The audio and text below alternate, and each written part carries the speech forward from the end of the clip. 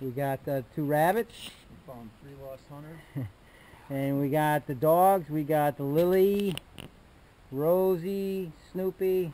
Scott joined us uh, eventually out in the woods.